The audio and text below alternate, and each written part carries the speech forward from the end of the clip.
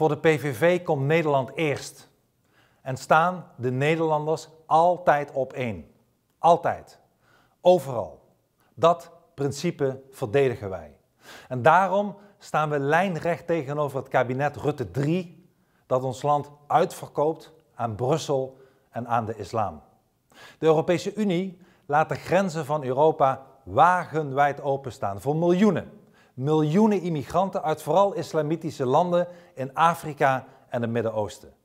Onze bevolking dreigt vervangen te worden. En West-Europa? West-Europa faciliteert de islamisering. Oost-Europa verzet zich daartegen. Laat niet over zich heen lopen.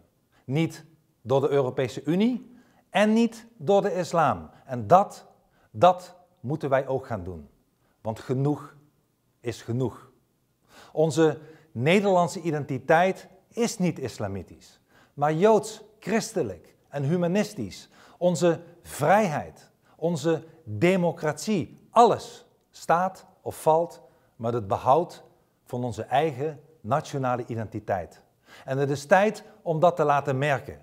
Het is tijd om Nederland te de-islamiseren. Om precies het tegenovergestelde te doen wat Rutte 3 en Brussel willen doen. Want dit is ons land. En het moet ons land blijven. En samen gaan we Nederland terugveroveren. Op 21 maart doet de PVV in 30 gemeenten mee aan de gemeenteraadsverkiezingen. En samen verdedigen we onze identiteit.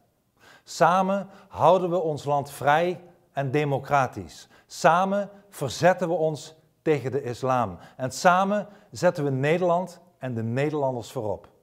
U staat op één. Ga daarom stemmen op 21 maart. Steun de PVV. Sta voor de vrijheid. Sta voor uw Nederland.